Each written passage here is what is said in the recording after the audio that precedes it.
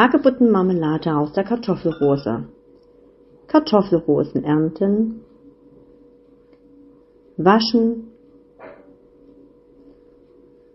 und von Stielen und Blüten befreien.